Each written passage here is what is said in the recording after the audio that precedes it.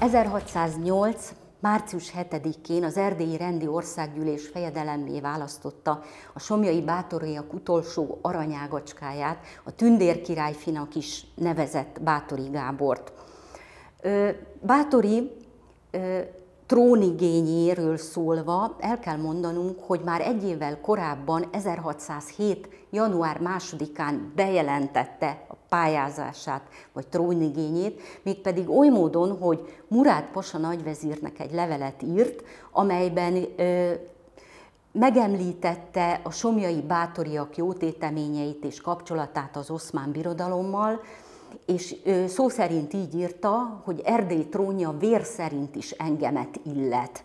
Tehát ez nyilvánvaló hát bejelentkezés volt a fejedelmi trónra. Az erdélyi rendek azonban ekkor 1607-ben a korábbi gubernátort, Bocskai István gubernátorát, Rákóczi Zsigmondot választották meg fejedelemmé.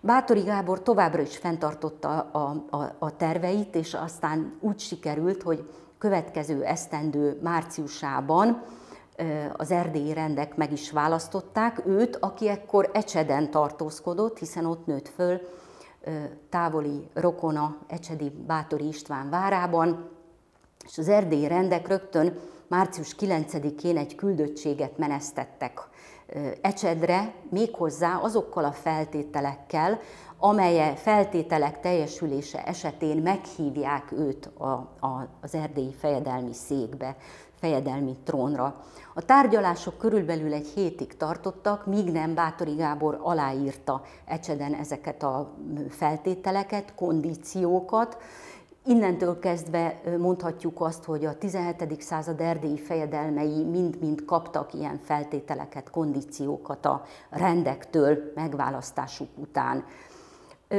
Március 22-én indult el fényes küldöttség közepette, vagy kíséretében Ecsedről Kolozsvárra, Bátori Gábor, és március 30-án virágvasárnapon fényes külsőségek közepette vonult be a városba, az egész város mondhatni, hogy, hogy nagy ünnepléssel fogadta, és büszkék voltak rá. Imrefi János későbbi tanácsosainak egyike azt írta, megérkezett a mi héroszunk, aki okos, merész, termetében kitűnő, és olyan erős, hogy a vaskulcsot is kézzel meg tudja hajlítani, el tudja törni. Minden bizonyal királyi elényekkel ékes, és a királyságra is Isten majd, Isten segítségével a, a királyságot is el fogja érni. De támogatói között sorolhatjuk föl Betlen Gábort mindenképp, aki nem csak hogy a, a portáról meghozza majd 1608 folyamán Bátori Gábor számára a fejedelmi atnámét, de ő volt az, aki egy küldöttség élén kilovagolt Kolozsvárról, és bekísérte a, a városba Bátorit. A fogadóbizottság szószólója ekként köszöntötte, kívánom, hogy nagy tettekkel érje föl Istvánt, kegyességgel Kristófot és hazaszeretettel Andrást. Bátori pedig a rendeknek írt válaszában így fogalmazott, Erdélyre immár gondom lészen, mint hazámra.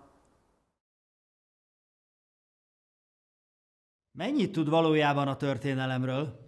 Tesztelje tudását a Rubicon próba online történelmi kvízjátékban. Érdekelné, hogy mit tud a középkori magyar királyságról? Vagy a reformkor és a szabadságharc történetéről? Tudná a helyes választ, hogy melyik középkori csatában harcolt a legnagyobb magyar hadsereg? Vagy hogy mikortól lett hivatalos nyelv a magyar? Kattintson a Rubicon próba weboldalára és tesztelje tudását. rubiconkötőjelpróba.com